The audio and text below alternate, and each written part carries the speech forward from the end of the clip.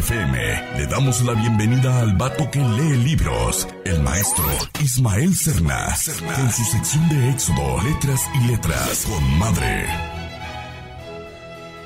El vato que lee libros, el maestro Ismael Cerna, lo saludo con muchísimo gusto. Maestro, ¿cómo está? Muy buenos días. Muy buenos días a todos los que nos aman, amantes de la lectura y, ¿Cómo? y amables seguidores. ¿Qué onda, maestro? claro, pues es que también la lectura es amor, ¿no? Ah, no, Como claro, dijo Rigo claro. Tobar. ¿Qué dijo Rigo Tobar? Rigo es amor. Rigo es amor. Aquí los libros son amor, amigos. Eh, Turi. Amor y paz, puro orégano. ¡Híjole, maestro! ¿Qué tenemos para esta semana, maestro? Bien, eh, justamente este 11 de junio eh, se, por- se conmemora el natalicio de un escritor japonés, el primer premio Nobel de la literatura nipona, eh, nada más y nada menos que Yasunari Kawabata, un escritor del cual desafortunadamente estuvo envuelto de tragedias, eh, fue huérfano desde muy prematura edad, del cual también con el paso de los años, en vez de solucionarse el asunto, eh, pierde a su abuelo, pierde a sus hermanas y todavía, por así decirlo, con el paso de la, de la vida que él empezó a tener como universitario, que más o menos estuvo yéndole muy bien con el asunto de, de sus familias, de sus esposas y sus, y sus hijas, pues todavía se le vino la última palada de, de- de arena, ¿no? Que se, le, ver. que se le cae encima. eh, la muerte prematura de, de su mejor amigo, que, también, que era un escritor muy importante también de la época, Mishima, quien es, a lo mejor algunos lo podrán co- reconsiderar. Y cuatro años después de haber ganado el premio Nobel, eh, al parecer hay un suicidio eh, a través de, de los sucesos que han habido. Todavía a la fecha, imagínense, en 1972 no había muchas necrocias, necroxias y no había tampoco mucho peritaje. Ajá. Pues hasta la fecha no se sabe qué pasó realmente con su muerte, si fue un suicidio o fue un accidente. Pero bueno, el punto central de su obra es que a pesar de todo esto que le estoy platicando de estas tragedias, es un escritor muy importante en la estética nipona, sobre todo en la cuestión espiritual y en la cuestión eh, de la belleza. Incluso hay un libro que, este, que me río porque...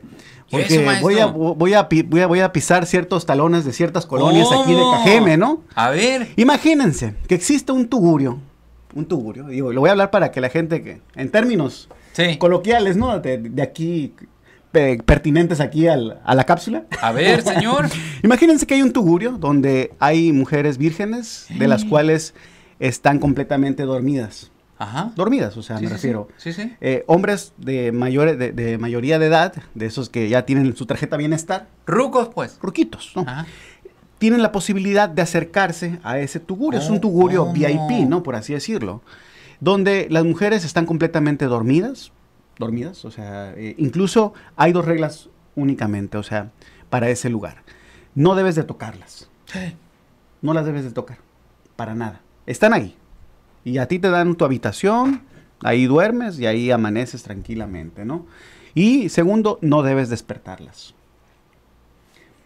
Detrás de todo esto, detrás de todo esto viene un espacio eh, estético muy perturbador, por supuesto, ¿verdad? Imagínate ese tipo de historias, ¿no? Claro. Japón 1960, 1955, este libro, eh, pues eh, realmente estaba, escribiendo algo muy, muy extraño, ¿no? Para la época. Ajá. Muy extraño y sobre todo muy poco moralista, ¿no? Sí. Sin embargo, detrás de todo este escenario, nos está planteando a un autor, a un personaje, por así decirlo, que empieza a especular acerca de la belleza. ¿Qué es la belleza femenina? Además de que es increíble ver a, la- a las damas este, y seguirlas en sus redes sociales o simplemente eh, plantearles o simplemente el amor de nuestra, de nuestra vida, ¿no? Nuestra Sí. pareja, ¿no? Sí, sí, sí. La construcción estética de la mujer, ¿no? Sin embargo, él nos está planteando una cuestión de cómo los seres humanos hemos creado a esta figura o a esta belleza como objetos, Ajá. objetos de contemplación. ¿No? O sea, me refiero, porque si estos hombres están ahí solamente para observarlas o solamente para pernotar, ¿Cómo? pues detrás de todo eso, ¿qué sucede con estas figuras? O sea, o cómo nosotros las vamos representando. Ajá. ¿Qué significa todo esto? Que imagínense, amables auditorio y radioescuchas, para 1955, un escritor nipón de- va- lleno de, de muchos espacios y de muchas figuras trascendentales, nos está planteando desde ese entonces, fíjense, sin redes sociales y sin nada que existiera, sin pasarelas, nada, ya nos estaba dando un preámbulo de lo que está sucediendo ahora, pues, ¿no? Los estereotipos, Sí. las construcciones físicas o incluso el marketing, ¿no? Que- del cual estamos a veces involucrados y sin darnos cuenta, ¿no? Claro. Desde ahí, desde ese espacio ta- tan crítico donde una mujer que regenta el lugar, como les digo nuevamente, les da las llaves, eh, les da, este, las chicas están narcotizadas y nos está planteando a, a personas que van, incluso hay una escena muy interesante donde él se encuentra a la muchacha con la que duerme ¿Cómo? despierta, ¿no? Ah. Así en el, en el pueblo, ¿A ¿no? Y, y se le acerca a platicar con ella, ¿no? Tiene ahí un diálogo muy extraño, incluso le pregunta, ¿eres feliz? Le dice él. Ay, ay, ay. O sea, y ella como que se saca de onda, ¿no? O sea, pues naturalmente, pues ella percibe un salario, ¿no? Ajá. Pero aquí la gran cuestión es que... Pero ella no conocía a él. no, no lo Porque conocía, estaba dormida. Porque estaba dormida, ¿no? Sí. La la- del libro que le estoy hablando, porque a lo mejor muchos están diciendo, a ver, díganos el nombre del libro, por favor. la Casa de las Bellas Durmientes, así se Así llama. se llama, La Casa de Tiene las varios Bellas cuentos, incluso hay un cuento de uno de sus últimos libros que se llama Nieve sobre el Monte Fuji. Nos habla de un lugar, la- una ciudad llamar, llamado Yu- Yurimi, Yumironi. Y, y es un relato, por así decirlo, que está muy relacionado con ese texto. Incluso eh, uno de los fragmentos que más me gustó dice de esta manera, dice, A ver. en este caso no había existido un pueblo llamado Yumiora, Yumiuru, pero cuanto de su pasado, un pasado que él había olvidado y que para ella no existía, podía ser recordado por otros. De ahí entonces que esta figura del recuerdo, de lo que nos está planteando el autor es quiénes somos en tanto tenemos memoria y vamos creando un espacio muy importante. Incluso la, la muchacha, como les digo, es, parte de esta historia, pero ya cue- ella cuento, le dice a él, a, a nuestro personaje principal, le dice, los recuerdos son algo por lo que deberíamos estar agradecidos, ¿verdad?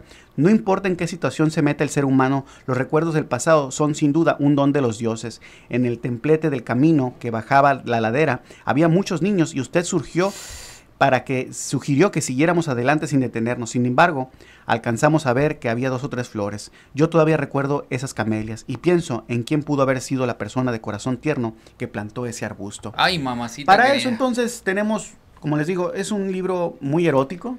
Este, eh, se lee muy rápido, estamos hablando de 70 páginas, lo pueden en encontrar en caliente. internet.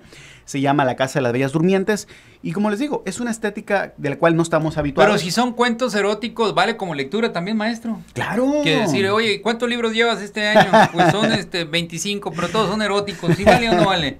Bueno, pues queda muy mal el asunto. No, A la no, hora de madre. plantear. Así Sí. como lo plantea, está medio extraño, ¿no? O sea, A ver, dime el nombre del último libro que leíste. No, pues.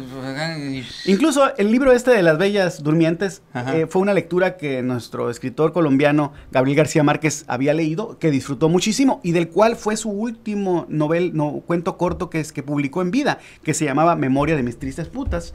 ¿Cómo? Oh, pues. no- Maestro. No, puedo. A ver, si, si a Orlando A ver, están no, aplaudiendo ahí maestro, porque no, llegó a Rayón. no. Ey, va a venir la Secretaría de Gobernación y nos van a cerrar aquí, maestro, por favor, hombre. Amigos, así se llama el libro. Ah, no lo inventé. así se llama el libro, así se ni llama el libro, Tiene registro Ni de modos, Sí, ni modos, y hágale como quieran. Ya, Así Bien. está registrado. Pero bien, como dijo Sor Juana Inés de la Cruz, peca más quien paga por pecar o, peca quien de este quien quien por, por la por el pago recibe.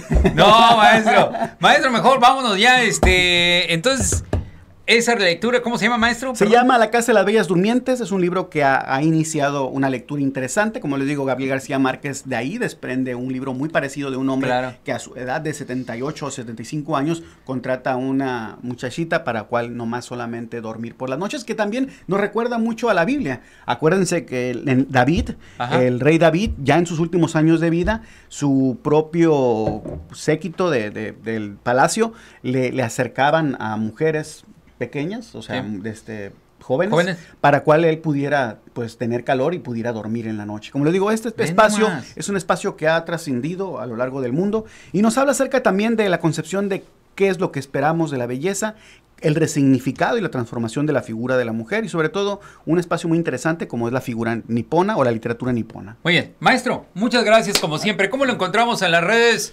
eh, sociales, maestro? Búsquenme como Ismael Serna, estoy en, en muchas, algunas y, y variadas redes sociales. Ajá. Y también como Only Books, ahí pueden encontrar todas estas sandeces y, y disparates Ay, que siempre ando diciendo. Mamacita querida, bueno. Maestro, muchísimas gracias. Nos Al vemos contrario. acá el próximo miércoles con todo el favor de Dios. Interesante la lectura. Yo sí lo voy a comprar ese libro, la neta. Me Cómprelo, llamó la cómprelo. atención.